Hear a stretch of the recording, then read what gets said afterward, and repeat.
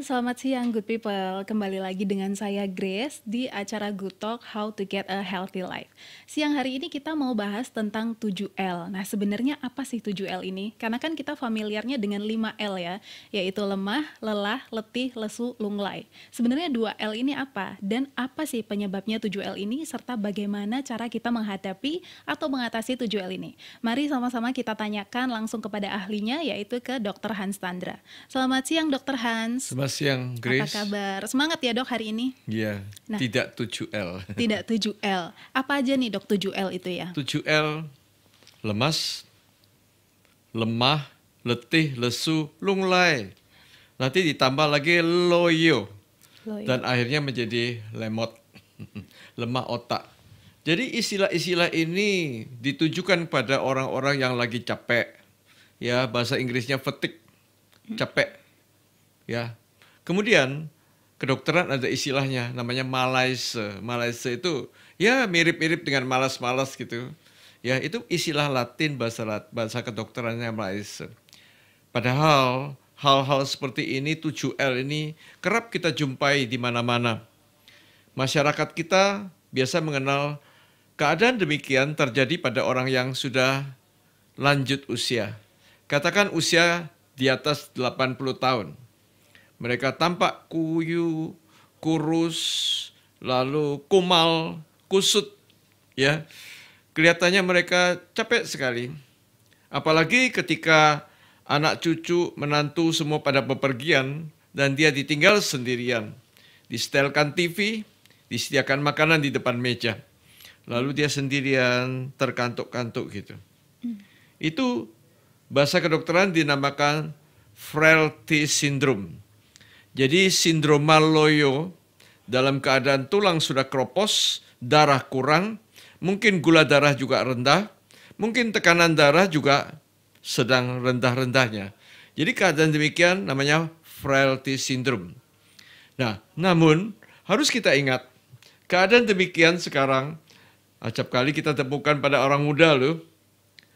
Kan kita lihat ada orang rebahan terus, ya, anak muda capek, lemes, tiduran, atau terus di dalam kamar, atau di depan komputer sepanjang hari. Dan hal ini juga menyebabkan 7L. Mereka akan merasa letih, lesu, merasa lunglai, lemes, merasa loyo, tidak berdaya. Jadi keadaan demikian, mari kita pelajarin. Kita jangan sampai terjadi, walaupun usia bertambah, harus tetap semangat, jangan sampai sakit, jangan sampai terjadi macam-macam penyakit atau komplikasi.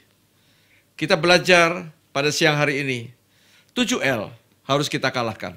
Betul, setuju. Mari kita bahas bersama-sama tentang 7L ini. Jadi sebenarnya 7L itu nggak hanya tentang orang yang usia lanjut, tapi juga usia muda bisa kena ya dokter ya. Sebenarnya penyebabnya 7L ini apa sih dok? Ya, sebetulnya kalau kita pikir-pikir, kenapa sih orang jadi lemes? Kenapa sih orang menjadi loyo? Mengapa dia menjadi tidak berdaya, tidak punya kekuatan untuk bangkit atau berdiri atau berjalan? Tentu saja ada penyebabnya. Saya beri singkatan. Tiba-tiba satu jam yang lalu saya terpikir tentang 7K.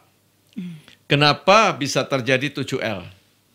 K pertama adalah kurang makan. Kurang makan. Jadi orang kalau kurang makan tentu gula darah turun, hipoglikemi, pasti mereka ngantuk kan, loyo kan. Ya, kalau Anda kurang makan ya, meskipun Anda berpuasa, tetapi mengerti cara-cara mengatur makan, mengerti cara-cara berpuasa dengan sehat dan benar, Anda tidak akan loyo. Tetapi kalau orang tidak makan, kelaparan itu menyebabkan orang itu mengalami 7L. Jadi makan, tapi makan yang benar. Dalam hal kurang makan ini, saya ingin nyam- nambahkan, sedikit lagi. Kebanyakan makan juga loyo loh.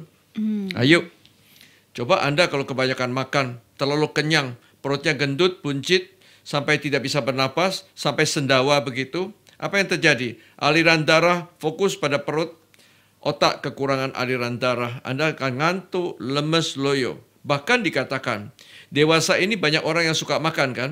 Makan pagi, makan siang, tengah-tengahnya ada gemil bolak-balik. Tiap jam ada makanan sedikit, sedikit, sedikit. Kue sedikit, lemper separuh, roti seperapat. Tambah terus, insulin keluar terus. Insulin resisten menyebabkan perutnya buncit.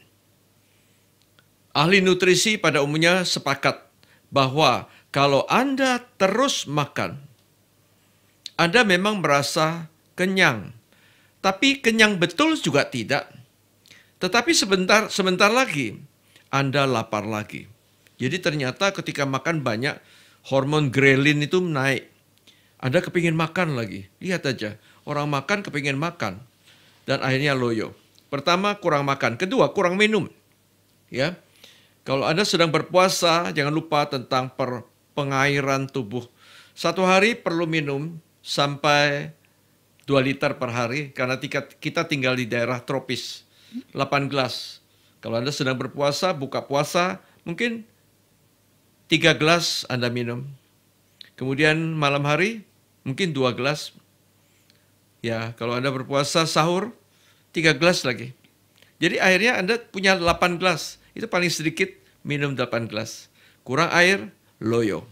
Yang ketiga, kurang tidur. Nah, banyak orang kurang tidur. Sepanjang malam nonton TV, main handphone. Ya, mungkin Anda nonton bola, paginya jadi loyo, letih lesu. Ya, jadi kurang tidur juga demikian. Orang tua sering kurang tidur. Mereka mengatakan, jam 8 tidur dokter. Tapi jam 1 sudah terbangun, cuma 3 jam sesudah itu matanya mencicil melek.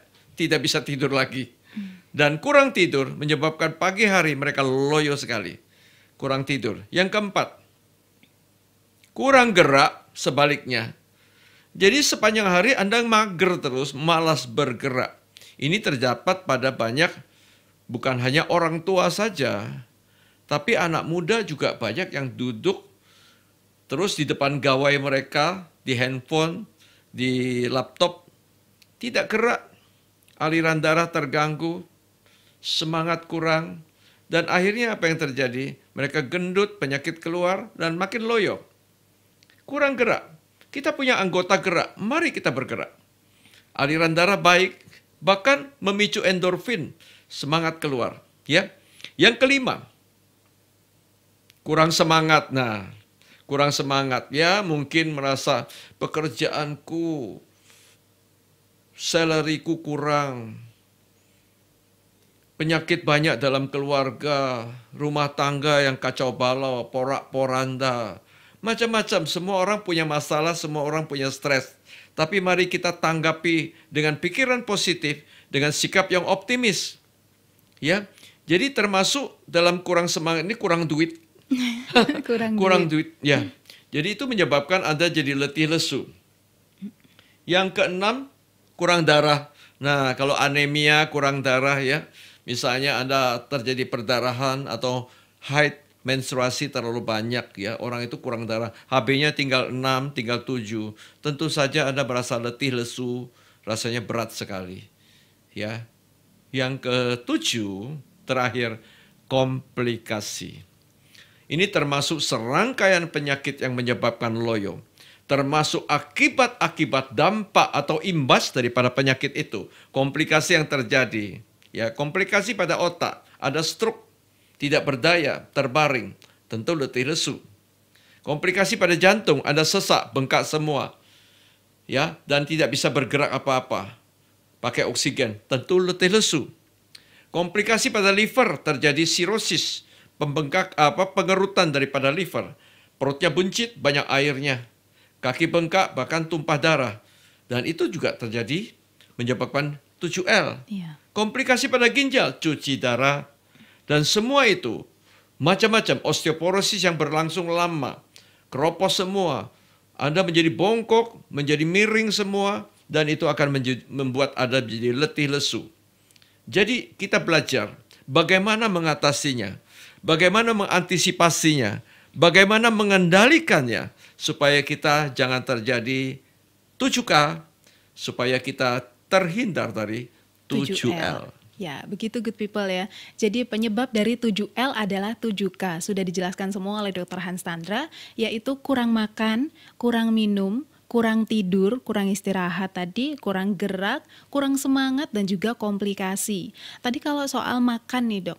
Makannya kurang lemas, letih, lesu. Tapi kebanyakan makan juga malah ngantuk ya dok. Jadi sebenarnya gimana? Makan yang cukup dan juga harus porsinya seimbang ya dok. Antara protein, karbo itu makanannya juga harus dikontrol. Karena saya sendiri juga kadang gitu dok, lapar sekali gitu ya. Setelah lapar makan, nggak sadar makannya banyak. Selesai makan bukannya semangat malah ngantuk, capek gitu. Itu yang harus diatur ya good people. Kalau misalkan ada yang tanya nih dok, e, lalu kita supaya nggak 7L, makannya ini makan apa baiknya dok? Ya, kita harus ingat ada makanan-makanan yang dinamakan makanan yang jahat. Makanan jahat tentu mengundang penyakit. Makanan jahat akan memicu berbagai komplikasi. Pikirkan makanan yang sehat. Makanan sehat harus banyak fiber serat. Banyak serat itu membuat aliran darah baik, pembuluh darah kita bersih, lemak gula tidak naik, bahkan banyak serat itu membuat pencernaan kita menjadi baik. Apakah makanan berserat itu? Sayuran dan buah-buahan. Pilih yang itu. Bahkan yang banyak warna-warni. Istilahnya rainbow menu, menu pelangi. Ya, warna-warni itu penuh dengan antioksidan Nah, apa itu antioksidan? Membuat aliran darah baik, membuat kita anti-aging, jadi tidak cepat tua, lalu kita menjadi awet muda. Antioksidan juga memperbaiki kulit, jantung, otak. Wah, pendek kata antioksidan itu bagus sekali. Membuat kita panjang umur. Dan sayur dan buah juga penuh dengan vitamin mineral. Alih-alih kita cari-cari macam-macam suplemen, jauh lebih baik kalau kita mencari sayur mayur dan buah-buahan. Nah, ini makanan sehat. Ya, kemudian kita cari juga kita perlu protein tadi disebutkan protein. Ada protein yang penuh dengan lemak, ada protein yang kurang lemak atau mengandung lemak baik. Ya, kita tahu ada lemak jahat, lemak baik. Protein mengandung lemak jahat, ada protein mengandung lemak baik. Protein yang lemak jahat tentu golongan yang makanan santan dan gorengan. Mungkin makanan-makanan yang penuh dengan jeroan kita hindari. Makanan dengan lem, protein dengan lemak baik, kita cari nabati dulu. Biji-bijian, kacang-kacangan. Mungkin tahu tempe kita tambahkan, dari hewani yang baik adalah golongan ikan laut. Ya cari ikan. Ya mungkin sekali-kali ayam, ayam bagian dada lebih baik daripada golongan kulit, cekar, berutu. Nah kita hindari. Ya daging kita alih ke ikan. Jauh lebih sehat. Dan kemudian minum yang banyak air putih ya. Kita jangan cari minuman yang jahat. Minuman jahat tentu minuman yang olahan, soda-soda, minum yang terlalu manis, itu semua bukan menu yang sehat. Betul. Jadi untuk makanan sendiri tadi yang disebutkan Dr. Hans ada protein dengan lemak jahat dan juga lemak baik. Tapi jangan sampai kita makan protein lemak baik seperti tahu tempe tapi digoreng crispy dengan tepung gitu ya, Dok. Nanti jadinya jahat. gitu. Ya, kalau Lalu, sudah jadi kriuk-kriuk crispy, jadi kurang sehat. Iya, nggak jadi baik lagi. Nah, kalau untuk minuman dok, kan baiknya memang yang dibutuhkan tubuh adalah air putih. Tapi ada kalanya orang, aduh aku kok lemes banget ya, aku kok loyo, sedangkan pekerjaanku masih banyak. Aku mau minum minuman berenergi aja deh, supaya fit lagi. Sebenarnya itu mengatasi nggak dok? Sebetulnya minuman-minuman ini bisa membuat semangat, karena energy drink itu ada kafein. Sama dengan soda. Coba kalau Anda minum cola misalnya, ya itu kan ada kafein, membuat anda segar kan. Lalu termasuk kopi, anda minum seperti itu ada kafein, semangatnya keluar, membuat anda kafein itu menyegarkan, langsung otaknya terang, ngantuknya hilang kan. Nah lalu kita pikirkan, minuman-minuman itu kita pilah lagi. Yang kalorinya kebanyakan itu tentu minuman manis. Ya kita jangan cari soda-soda, itu kafein tapi gulanya tinggi, tinggi sekali. Walaupun dikatakan diet soda, tetap berkalori besar. Ya, hmm. walaupun dikatakan sugar free, tetap high kalori karena sweetener pemanisnya yang diberikan itu pemanis yang golongan nutritif atau high kalori. Kita sekali-kali ngopi boleh. Kopi mengandung antioksidan juga. Juga baik ada kafein, membuat kita semangat. Ya, tapi kita jangan tambah banyak toppingnya. Misalnya susunya terlampau banyak atau diberi gula pasir, gula macam-macam dan itu akan merugikan tubuh kita. Ya, sekali-kali tambahkan sweetener satu. Ya, mungkin tambah susu tapi susunya low fat creamer. Ya, sehingga kita bisa menikmati selain air putih ya sesekali minum teh. Teh juga ada kafeinnya menyegarkan, tambahkan mungkin sekali-kali kopi, ya. Lalu asal kita pintar mengaturnya. Hebat, sehat, tidak di 7L. Gitu, hebat, sehat, tidak di 7L. Kalau tadi saya dengar selain kurang makan, kurang minum juga ada kurang darah ya dok. Biasanya ini dialami oleh wanita yang sedang haid.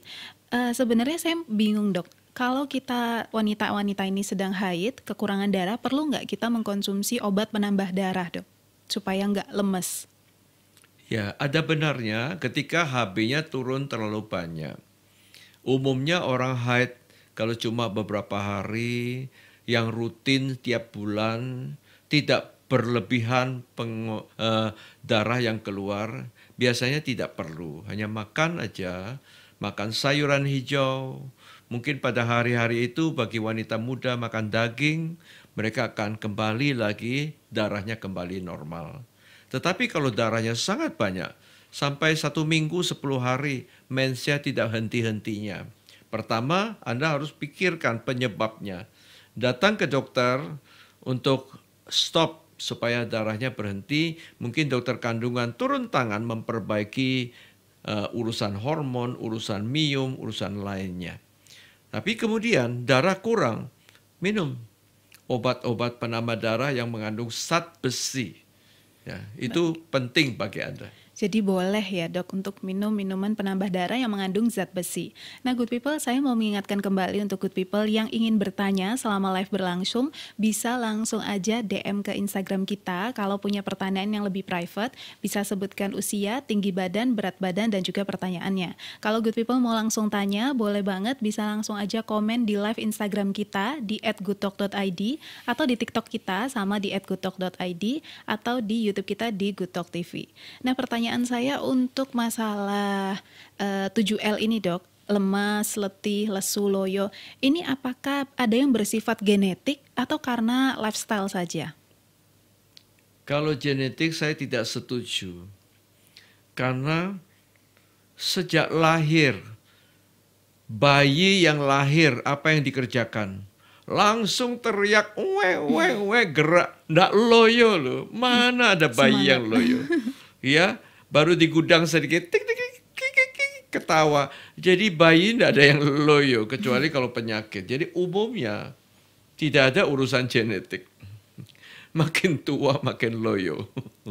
Makin berpenyakit makin loyo. Jadi ini yang menyebabkan penyakit komplikasi itu kebanyakan adalah masalah lifestyle.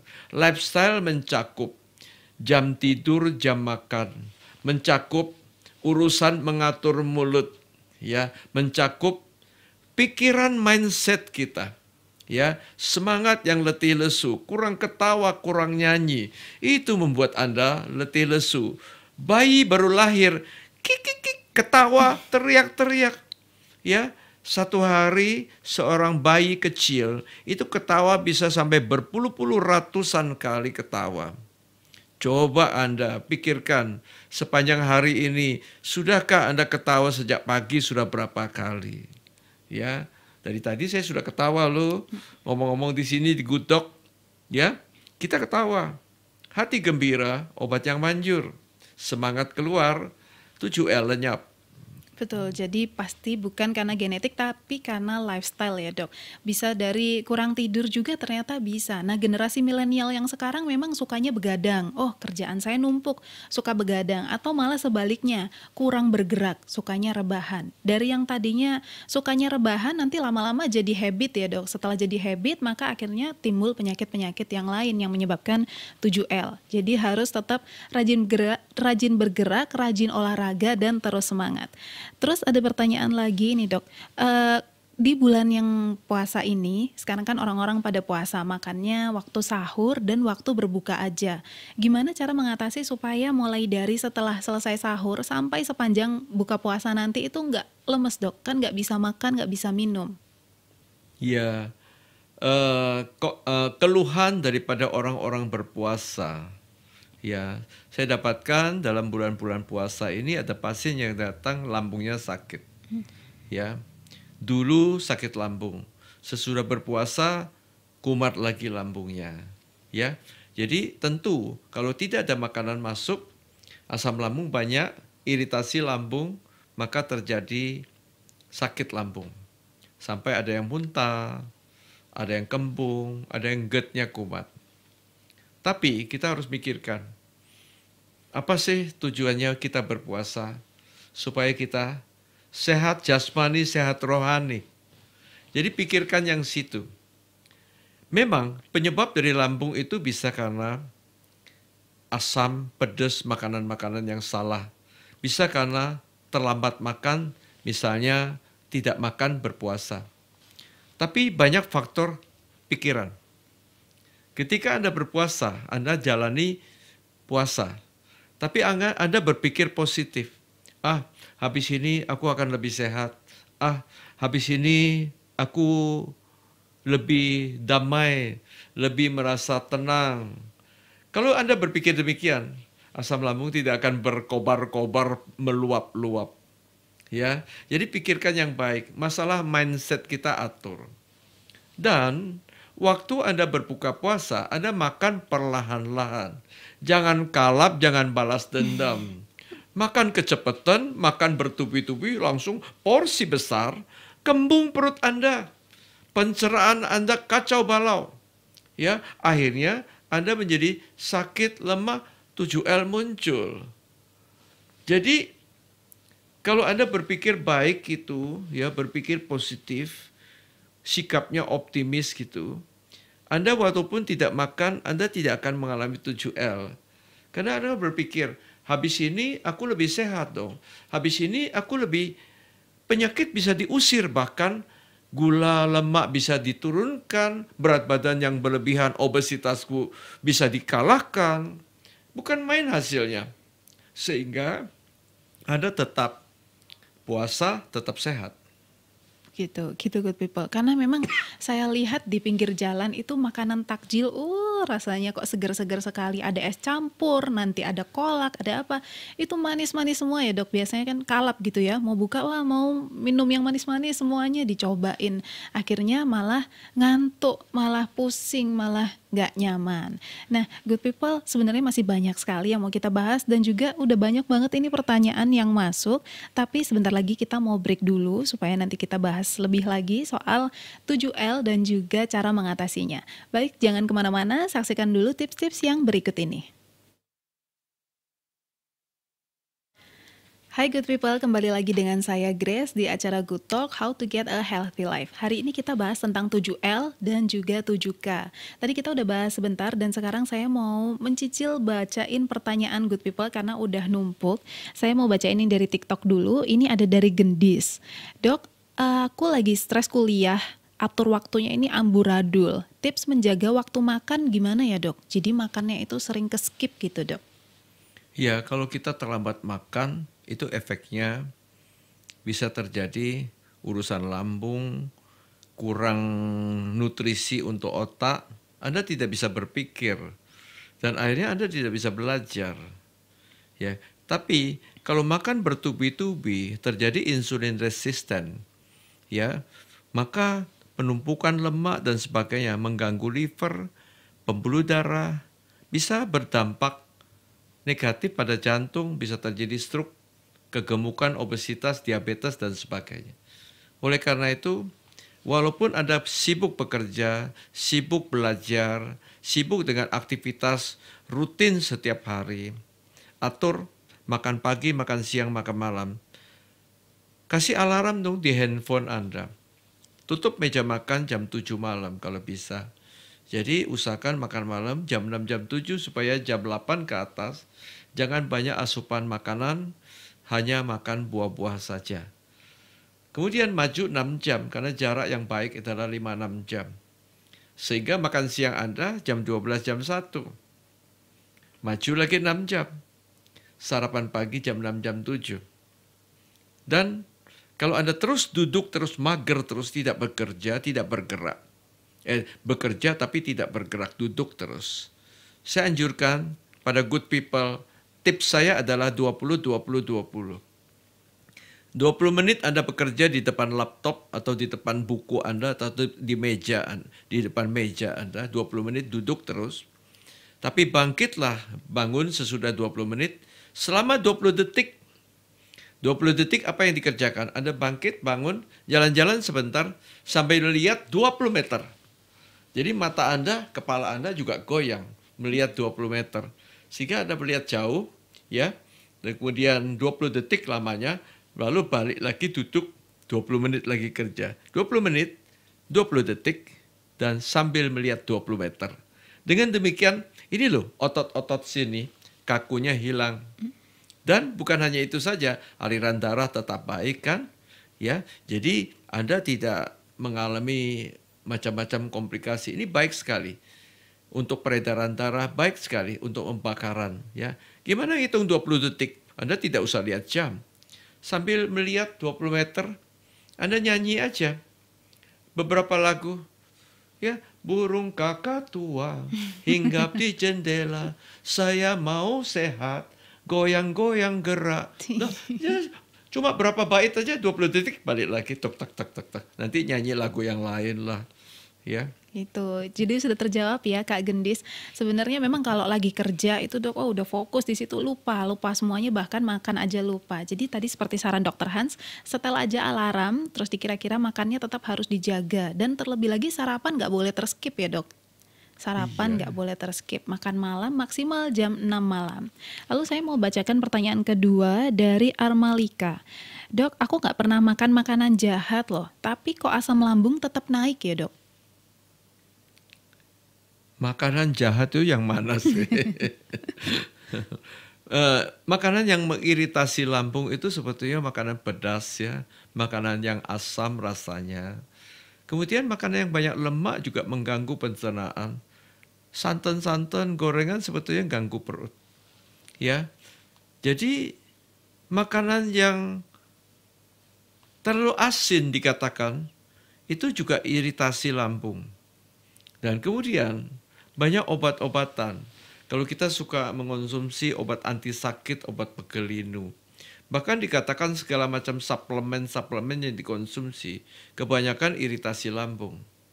Hindari misalnya soda, kafein, kopi, mungkin juga jahe, kunyit itu agak ganggu lambung. Hmm. Lemon, madu ganggu lambung. Nah, makan pelan-pelan, kunyah baik-baik. Ya, Anda sudah katanya makan sebenar, tapi pelan-pelan kunyah ya. Kemudian waktu makan, waktu Anda pelan-pelan kunyah, Anda mikirkan gutok dan senyum-senyum. Hati gembira, tidak stres. Stres itu memicu asam lambung ya makan sudah benar tapi mencucu cemberut wajahnya segitiga wah segitiga. asam lambung naik lagi ya Iya, gitu ya Kak Arma. Jadi nggak cuma makanan aja, stres, overthinking. Kalau istilah anak sekarang itu dikit-dikit overthinking, jadinya asam lambung, gitu. Lalu saya mau bacakan lagi dari Kak Encis Herawati. Dok, saya usia 47 tahun. Sudah dua tahun ini tidak mens. Apakah itu penyebab 7L? Kemungkinan ada juga ya kemungkinan bisa juga ya kita tahu 7L tadi penyebabnya selain kurang kurang kurang kurang itu ya bisa juga karena komplikasi. Mungkin penyakit-penyakit yang lain ya. Gangguan hormonal ya. Misalnya gangguan tiroid ya. Tapi 47 mungkin saja bisa sudah memasuki premenopause. Tapi mungkin Anda agak terlalu cepat ya. 47 kok sudah tidak haid. Ya, kegemukan bisa, diabetes juga bisa, eh, hormon tiroid terlalu rendah bisa ya. Jadi datang ke laboratorium untuk lakukan check up. Anda datang kepada dokter untuk berdiskusi lagi. Gitu, jadi diperlukan konsul lebih lagi dan juga cek ke lab ya kak. Ya Eh, sebetulnya kalau males itu termasuk males check up loh ya. males jadi kurang check up, kurang kurang periksa darah, kurang mau untuk berdiskusi ke dokter ya. Mm, mm, itu harus termasuk diperiksa. penyebab 7L. Betul, harus diperiksa lebih lanjut ya dok. Nggak bisa cuma kita secara eh, online aja, tapi harus lakukan cek ke lab ya kak. Lalu ada dari Kak Fani, Dokter Hans, kalau saya berada di tempat dengan suhu yang panas atau di bawah terik matahari, otomatis membuat saya menjadi lemas dan kalau diteruskan bisa pingsan. Ini kenapa ya dok? Ya tentu saja panas terlalu tinggi bisa menyebabkan bahkan bisa orang itu pingsan, heat stroke namanya. Ya, Ten- eh, kita tahu pertama panas sekali, ya. Panas sekali mengganggu konsentrasi semua terganggu, ya. Lalu fatigue, capek, lalu aliran darah terganggu. Wah, semua semua kalau terlampau terlampau terlampau itu tidak baik ya. Terlampau dingin tidak baik terlampau panas ter- tidak baik terlampau kurang tidur tidak baik ya. Semua berlebihan mengganggu kesehatan Begitu. Jadi mungkin bisa dibantu pakai payung aja supaya nggak langsung terkena sinar matahari. Lalu ada lagi dari Kak Philbert Limawan. Apakah konsumsi garam bisa mengakibatkan 7L, Dok? Mungkin maksudnya konsumsi garam terlalu banyak gitu ya. kalau garam terlalu banyak semua makanan asin itu bisa mengganggu pada apa jantung ginjal tekanan darah kita naik Bahkan orang yang suka makan asin itu termasuk makanan junk food, junk food yang kalengan, kotaan, bungkusan, botolan yang sudah kemasan. Itu isinya apa? Lemaknya banyak, manisnya banyak, garamnya pun banyak. Pengawet-pengawet itu kebanyakan ya isinya garam.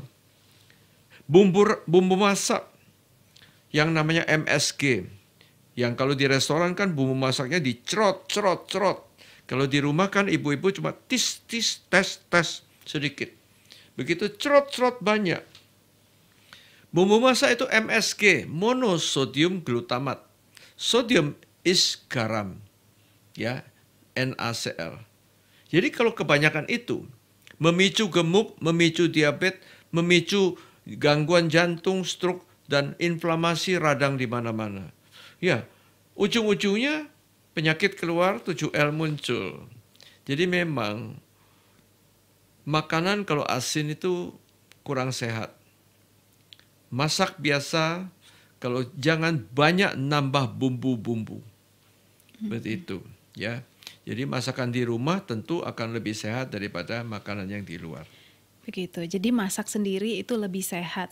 Kalau saya pribadi dulu saya kan suka masak nih dok, suka banyak bumbu. Oh yang asin-asin itu mantap sekali, apalagi kuah santan yang pedas gitu dok. Tapi sekarang semenjak masak lagi di rumah saya ngurangin pakai garam sedikit aja supaya ada asinnya sedikit. Gula juga sedikit, MSG sudah nggak pakai dan ternyata efeknya ke tubuh jadi lebih enteng dok, lebih enteng, lebih semangat, nggak nggak males-malesan gitu. Lalu saya mau baca lagi pertanyaan dari Kak Kori. Dok, mama saya 2 tahun konsumsi obat hipertensi, tapi sekarang mama saya merasakan pinggang sakit. Kenapa ya dok? Ya, eh, mungkin Anda bisa bertanya lagi tentang usia, berat badan, tinggi badan, ya. Karena ini menyangkut hal, men- menurut saya ini juga ada pengaruhnya, ya. Konsumsi obat darah tinggi itu kalau selama tensinya bagus terkendali dengan baik, obatnya jalan terus. Namun dalam beberapa bulan Anda harus cek lagi ke dokter. Apakah obatnya diteruskan? Apakah selama ini sudah terkendali baik? Karena orang kalau hipertensi minum obat bukan hanya cek tensi, tetapi secara reguler berkala lakukan pemeriksaan EKG jantung, pemeriksaan juga fungsi ginjal. Karena tensi tinggi, lambat laun kalau tidak dijaga baik-baik bisa terjadi kebocoran dari saringan ginjal. Dampaknya ke mana-mana. Orang tensi tinggi lama-lama juga bisa insulin resistant. Ya ingat, hipertensi gandengnya ke diabetes. Hipertensi banyak pada orang gemuk. Jadi kalau misalnya si mama atau orang tua Anda itu gemuk, sakit pinggang bukan karena obatnya, sakit pinggang karena gemuknya, ya. Mungkin kalau pinggangnya sepanjang hari duduk terus, sepanjang hari baring terus, ya ototnya kaku semua. Mungkin juga orang tua itu, saya dapatkan mereka sudah osteoporosis. Nah, apa yang terjadi pada osteoporosis? Tulang belakangnya sudah mulai miring, memendek, menyempit, dan akhirnya orangnya membungkuk, mem memendek, dan jalan miring-miring. Nah, ototnya sakit dong, pinggangnya sakit. Ya, itu bukan masalah ginjal. Anda jangan berpikir pada ginjal. Bahkan orang hipertensi kalau tidak minum obat tensinya, lambat laun ginjal semakin rusak. Minum obat asal obatnya tepat dan kontrol teratur. Baik, semoga terjawab ya Kak Kori. Jadi gak apa-apa minum obat asal obatnya tepat dan juga kontrol teratur karena bisa jadi dari faktor usia dan juga berat badan. Lalu saya mau baca pertanyaan lagi dari Kak Devi Khadijah. Dok, kalau lagi program diet defisit kalori, itu gimana dok? Apakah akan berpengaruh dengan 7L itu? Uh, defisit kalori art, artinya kalori restriction ya. Jadi kalori restriction sama dengan kita makan, kita tahu kita kegemukan atau kita ada gula atau ada lemak ya. Lalu kita lakukan puasa dengan kalori restriction. Jadi uh, misalnya 16-8, berapa minggu yang lalu kita cerita tentang masalah puasa. 16 jam tidak makan, 8 jam makan. ya Dengan kalori restriction, tapi dengan sesuai dengan kegiatan kita. Orang sekarang pada umumnya kerja kantoran. Kantoran tuh duduk-duduk aja, nulis-nulis, main telepon-telepon, sehingga kita tidak butuh banyak kalori. Jadi benar sekali yang Anda lakukan mengurangin atau defisit kalori, bukan defisit, restriction istilahnya. Ya, membatasi kalori sesuai dengan kegiatan Anda ya. Tapi bagi seorang pekerja kasar yang kerjanya di lapangan, misalnya kerja di jalan untuk ngangkat pasir, ngangkat batu, ngangkat semen, ngangkat bata, dan mereka kerja angkat ini, angkat ini. Mengurangi kalori menjadi loyo dong, pingsan tidak kuat lagi. Jadi sesuaikan. Tapi umumnya kita memang perlu sekali kalori restriction itu. Karena umumnya kita makannya berlebihan tuh ya katakan mie goreng. Ayo mie goreng satu porsi. Seporsi nasi itu bisa 200 kalori nasi putih. Begitu jadi nasi goreng bayangkan ada minyaknya ada telurnya ada tambahan ini dan itu. Seporsi nasi goreng 600 kalori. Tiga kali lipat daripada nasi putih. Mie goreng 650 kalori lebih besar. Ya jadi kalau kita makan yang itu itu kalori berlebihan maka kalau kepingin mie goreng boleh kurangin makan seperapat aja kasih sayur yang setengahnya. Kenyang kan? Tetap nikmati mie goreng tapi banyak fibernya. Kalori restriction itu dan tetap kenyang. Jadi ingat, ngurai kalori bukan berarti Anda tidak makan. Ngurai kalori bukan Anda kelaparan, tetap Anda kenyang supaya tidak ngemil. Kalau Anda makan sedikit, dengan harapan aku defisit kalori loh, defisit kalori kurai makan. Sebentar lagi kelihatan roti seperapat aja. Kepingin lemper separuh aja. Nah, itu itu justru tidak baik. Ya, sayurnya yang banyak supaya tidak banyak gemil banyak ngemil. Ngemil sedikit sedikit sedikit lama-lama jadi bukit. Jadi banyak juga ya dok. Apalagi mie goreng itu makanan favorit banyak orang. Nah good people masih banyak lagi pertanyaan yang belum sempat kita baca dan nanti mau kita baca tapi sebelumnya kita mau break dulu. Jangan ke mana jangan ke mana-mana saksikan dulu tips-tips yang berikut ini Halo good people, kembali lagi dengan saya Grace di acara Good Talk How to Get a Healthy Life. Gimana, masih semangat ya? Masih semangat dong. Saya mau lanjut lagi baca tentang pertanyaannya. Ini ada yang tanya dok dari Ida. Dok, apa benar penyakit diabetes itu harus minum obat seumur hidup? Diabetes harus minum obat seumur hidup. Ini harus saya ralat. Diabetes harus dikendalikan dan dikontrol seumur hidup. Hmm. Suatu saat Kebanyakan daripada kita adalah diabetes tipe 2 dengan obat. Tujuan obat itu bukan untuk menurunkan gula tapi memperbaiki kinerja insulin kita. Ketika Anda berat badan sudah tercapai ideal, tidak menutup kemungkinan mandek berhenti obat. Ada. Jadi diabetes tipe 2 bahkan bisa remisi. Remisi artinya tidak minum obat lagi. Namun, tiap tiga bulan dikontrol lagi HbA1c. Kalau selama HbA1c dicek selalu terkendali, Anda tidak minum obat, tiga bulan lagi cek lagi. Karena kalau HbA1c tinggi, Anda mulai dengan obat lagi, berarti Anda salah lagi. Jadi disiplin yang seumur hidup, ngatur makan harus benar dan sehat. Biar Anda menjadi contoh teladan bagi keluarga Anda, bagi anak istri, bagi anak saudara-saudara, semua belajar. Lu ini diabetes, sukanya sayur, sehat, tidak gemuk, bahkan berhenti obat. Uh, luar biasa. Teladan bagi orang lain. Diabetes bisa tanpa obat, tapi diabetes harus dikendalikan dan kontrol tiap tiga bulan kalau sudah terkendali jangan mandek. Iya, baik semoga terbantu ya Kak Ida harus tetap disiplin dan juga semangat. Uh, lalu ada pertanyaan lagi dok, uh, dok kalau sudah makan nasi merah apa perlu ditambah sayur? Karena saya sering kembung kalau makan sayur, uh, kalau makan yang banyak serat. Apa benar sayur dan ubi bisa menyebabkan hipertensi? Sayur dan ubi bikin hipertensi tidak, pasti tidak. Yang menyebabkan hipertensi adalah semua menu yang asin ya kalau kalori kebesaran itu mungkin lewat gemuk dulu baru tensi naik ya. Nah sekarang nasi beras merah tanpa sayur saya kurang setuju. Otak kita mengerti bahwa ini nasi beras merah ngerti bahwa ini nasi putih tahu kalau ini nasi goreng otak kita. Mulut kita tahu ini kurang enak nasi putih lebih enak nasi goreng aduh enaknya bukan main ya tapi bagi perut kita, bagi tubuh kita, taunya ini karbo. Ini karbo juga. Ini juga karbo loh, bahkan ada lemaknya. Jadi tubuh kita tidak peduli nasi beras merah, tidak peduli nasi porang, tidak peduli nasi siratake. Tidak perlu macam-macam.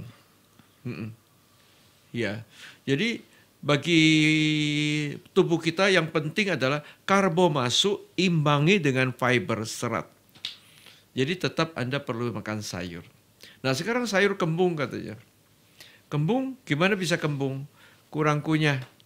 Kunyahlah 30 kali, 20 kali supaya banyak air liur keluar sehingga banyak enzim pencernaan sehingga sampai di perut perut tidak dibebani banyak kerja lagi, tidak akan kembung.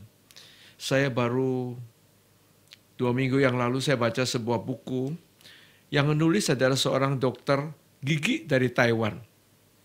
Dia nulis tentang gigi mempengaruhi jantung, mempengaruhi uh, stroke dan sebagainya. Saya setuju. Dari gigi itu bisa ke mana-mana loh. Jadi saya baca, ternyata dia anjurkan makan pisang aja harus kunyahnya 50 kali. Saya sampai terkaget-kaget membaca itu. Bayangkan sayur saya anjurkan kan 30 kali. Literatur menyebutkan kunyah 20-30 kali.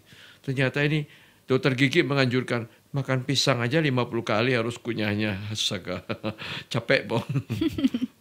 gitu jadi bukan sayurnya ya dok yang bikin kembung tapi cara makannya cara makannya benar. cara kunyahnya jangan cepet-cepet biasanya kalau orang udah kelaparan banget yang penting langsung maunya ditelan aja gitu lalu saya mau baca lagi ini dari TikTok dari hijrah pola makan dok kalau herbal gimana ya apakah itu bagus karena ada kandungan fitokimia ya yang namanya antioksidan itu ya sitokin ada adalah tanda-tanda radang ya. Jadi yang menyebabkan itu sebetulnya sumbernya adalah sayur buah.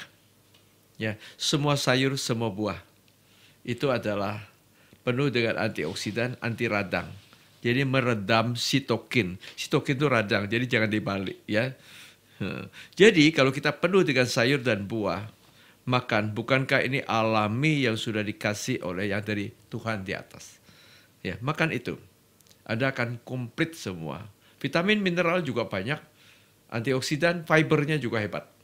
Ya, sekarang mulailah ada produk suplemen ini, suplemen itu, suplemen vitamin, suplemen makanan-makanan, suplemen nanti ada uh, katanya ada tulang rawan ikan hiu dan sebagainya, ada herbal. Herbal dari mana? Sayuran dan buah-buahan. Semua ini adalah bahan kimia. Ya, bahan kimia. Jangan berkata bahwa ini bukan kimia.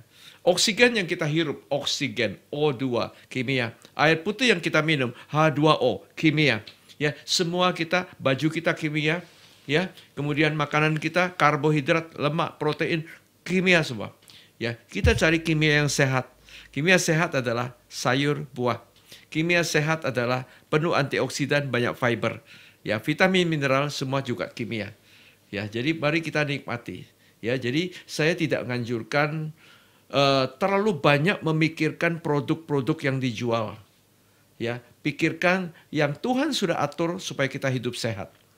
Seperti itu. Ya, jadi uh, kalau sampai perlu sekali orang tua mungkin perlu kalsium, vitamin D. Kalau orang yang haid terlalu banyak kurang darah minum zat besi untuk tambah darah. Menurut saya itu saja. Gitu. Saya kurang vitamin C, saya makan buah saya kurang vitamin D, saya jemur matahari, saya makan ikan dan sayur. Saya kurang omega 3, saya makan ikan. Bukan main, semua sudah tersedia di alam bebas ciptaan Tuhan. Ya, jadi lebih baik kita langsung makan dari sumbernya daripada nanti setiap hari harus minum suplemen, ada iklan fiber drink, minum fiber drink, besoknya ganti herbal. Daripada gitu kita langsung aja makan sayurnya, buahnya, ikannya jauh lebih sehat. Baik, good people, uh, saya mau baca lagi dari Yulia Kapitan. Selamat siang dok, usia saya 56 tahun, mengalami gangguan hormonal pasca menopause. Buah dan sayur apa ya yang harus saya konsumsi? Terima kasih dokter. Ya, dikatakan semua sayuran-sayuran itu mengandung fitoestrogen. Fitoestrogen adalah estrogen alami dari tumbuh-tumbuhan. Fito itu dari tumbuh-tumbuhan. Jadi kalau kita tiap hari makan itu selalu banyak sayur, sayur apa saja saya tidak menyebutkan khusus satu sayur, tidak. Karena semua itu baik. Ya, harus warna-warni. Jadi sayur warna-warni artinya menu pelangi, rainbow menu. Bahkan kalau bisa banyak hijaunya. Disebutkan green is the king of vegetables. Banyak sayurnya, macam-macam. Ya, campur-campur. Ya, jangan khusus satu sayur. Ya, mungkin nanti Anda mendengar melalui berita ada sayur ini khusus, sayur ini khusus, jangan. Sayur ini banyak, tapi campurkan yang lain. Kalau hanya satu sayur, hanya satu buah, Anda menjadi stres, Anda menjadi tidak ada sukacita lagi. Ya, jadi nikmati semua gitu. Jadi boleh macam-macam sayur boleh. Biasanya kalau salad itu kan sayurnya macam-macam warna-warni. Coba berkreasi bikin salad sendiri gitu ya dok. Jadi lebih enak. Ya yang bahaya adalah dressingnya, dressingnya. jangan terlalu banyak. Nah jadi sausnya jangan terlalu banyak. Serot-serotnya itu loh jangan banyak hmm. ya. Jadi makan pecel sehat sekali. Makanan sayur uh, dari negara kita pecel gado-gado ya tapi bumbunya jangan banyak. Hmm. Itu masalahnya. Lalu tambahan-tambahan kriuk-kriuknya jangan banyak. Apa itu kriuk-kriuk? Peyek itu. Uh, kerupuk peyeknya jangan banyak. Ya, karena itu makanan-makanan yang lemaknya jahat. Iya, sayurnya dibanyakin, ya. bumbunya Buahnya sedikit makan. aja. Ya, tapi jangan banyak buah musiman, batasin. Oh. Buah musiman apa? Mangga, durian, rambutan, duku, lengkeng. Nah, ah. Jangan banyak. Sedikit-sedikit boleh, kenapa enggak boleh? Sedikit-sedikit dibatasin ya. Apalagi durian itu kalau kita makan banyak-banyak, wah bahaya ya dok ya. Lalu ada lagi yang tanya dok dari Yolanda. Dok, apakah 7L ada hubungan dengan IQ rendah? Uh, Kalau digatuk-gatukkan, dihubung-hubungkan bisa loh. Lantaran lemas, letih, lesu, lalu apalagi lemah lunglai, lalu loyo, dan apalagi lemot, lemah otak. Nah, ujung-ujung lemah otak kan IQ-nya rendah. Jadi hmm, akibatnya mungkin, akibatnya lama-lama mereka juga telat mikir, tell me ya. Ya, orang yang malas itu tidak suka baca ya Orang yang malas itu tidak mau belajar. Orang yang malas itu tidak punya semangat untuk maju. IQ rendah loh. Ya. Jadi bisa disebabkan oleh lifestyle juga ya dok, ternyata IQ rendah. Mungkin selain di, dibantu dengan makanan, kita juga dengan lifestyle. Yang semangat, uh, terus juga pola makan, pola hidup, pola tidurnya. Nah dok, ternyata kita sekarang sudah masuk ke konklusi. Saya pengen tanya ke dokter Hans tentang konklusi dari 7L ini dok. Iya, 7L adalah lemas, letih, lesu, lemah, lunglai, loyo, dan lemot. Penyebabnya adalah 7K, yaitu kurang makan, kurang tidur, kurang gerak, kurang kurang minum, kurang minum, kurang semangat, kurang darah, dan komplikasi macam-macam penyakit, diabetes, uh, osteoporosis, stroke, uh, ginjal, gagal jantung, kemudian sirosis, osteoporosis, uh, macam-macam, semua termasuk kanker, penyakit-penyakit kan menyebabkan 7L itu. Jadi 7K menyebabkan 7L. Lalu apa yang kita lakukan? Tadi sudah sebutkan penyebabnya. Saya nganjurkan pertama jaga mulut kita. Jadi ngatur makan kita. Kita pilih makanan yang sehat. Selalu yang sehat itu penuh dengan antioksidan, serat, vitamin, mineral itu terdapat pada sayuran dan buah-buahan. Kemudian kita perlu karbo, karbohidrat untuk sumber tenaga. Sesuaikan pula dengan tenaga kita, dengan keadaan kita, ke uh, kegiatan kita sehari-hari. Kalau Anda cuma orang uh, duduk-duduk aja yang kerjanya sepanjang hari kantoran, karbonya tidak boleh banyak. Jadi jangan banyak makan roti bapau, roti bapau, singkong, telo, terus kasih gitu. Itu karbonya kebanyakan. Anda imbangi dengan sayuran. Kemudian cari protein yang rendah lemak, yaitu golongan ikan, mungkin ayam, tahu tempe. Batasin santan gorengan, jauhi jeroan. Nah, Anda dapatkan makan sehat. Minum air putih 8 gelas sehari, 2 liter sehari. Ya, sekali Anda bisa teh, kopi, jauhi topping-topping tambahan gula, tambahan soda, ya, seperti makanan minuman-minuman yang kemasan-kemasan jauhi. Itu jahat. Karena olahan-olahan itu tidak baik. Nah, kemudian jaga apa lagi? Mindset kita. Pikiran kita yang semangat dong. Ya, berpikir semangat, berpikir yang positif, bersikap optimis, ya. Anda tidak akan mager lagi, Anda akan bersemangat. Untuk misalnya, aku ada sakit, aku hidup sehat supaya aku jadi sembuh. Aku berobat dengan benar, aku makan jaga supaya aku cepat pulih. Aku bisa bekerja lagi, bisa cari uang lagi. Aku berhasil keluargaku bahagia dan sukses. Ya, jadi harus ada pikiran semangat. Jangan nanti aduh aku sakit, aduh aku loyo, aduh aku tidak berdaya. Jangan mikir gitu. Pikirkan. Belajar dari gutok. Ada semangat untuk belajar, ya. Kemudian bertindak. Jadi Anda mindsetnya dijaga. Tadi yang pertama mouth-nya. Yang ketiga adalah bergerak, move. Ya, satu hari bergerak badan 30 menit. Saya tidak menganjurkan terlalu banyak olahraga yang ngotot, ngoyong, ngoyo, apalagi kuat-kuatan, hebat-hebatan. Karena saya dapatkan dalam banyak literatur. Karena hidup kita zaman sekarang, kita bukan olahraga, uh, olahragawan, bukan atlet.